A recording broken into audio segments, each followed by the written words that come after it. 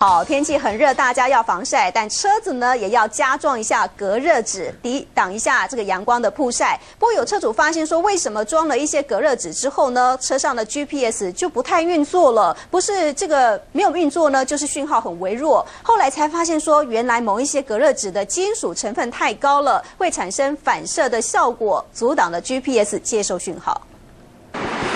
夏天到了，不少车主在前挡风玻璃加装隔热纸。问题是，好好的 GPS 突然就失灵了，搜寻不到讯号啊，哎，完全搜寻不到讯号。那时候做那隔热纸的时候，厂商有提醒你？嗯，没有。薄薄一片隔热纸真的有可能影响 GPS 吗？首先来测试 A 车前挡风玻璃有贴隔热纸，GPS 才设定不到一秒钟，立刻搜寻到方向。全东路六段。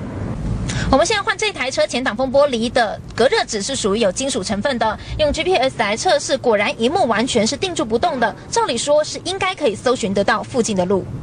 好不容易稍微定位，GPS 又突然停住，像中风一样。再重新试一次，明明车子在动，GPS 就是不听话，像定格一样，完全也不动，也搜寻不到方向，讯号很微弱。包括使用手机的 GPS 反复来测试，在有隔热纸的车内使用讯号非常不稳，但是一拿出车外，讯号立刻变强，到底是怎么回事？金属加的越多的话呢，你 GPS 接收效果就越差，所以一定要避免掉金属成分。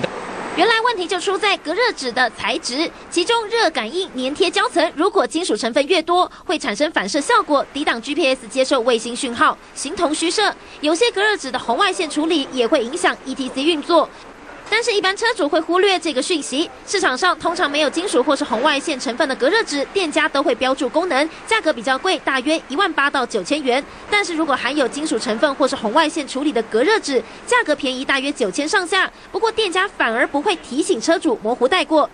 提醒夏天准备装隔热纸的车主，最好和业者确认隔热纸的成分，否则花钱挡了阳光，也挡了 GPS 的功能。中天新闻流量和任以芳台北报道。